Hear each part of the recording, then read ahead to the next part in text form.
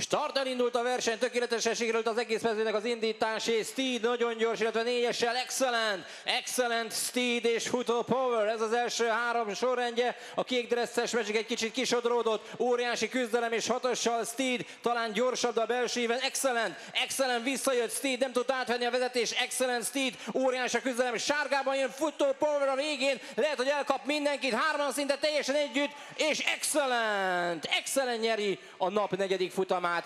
Ő a második előfutam győztese. Power és Steed még a továbbjutók.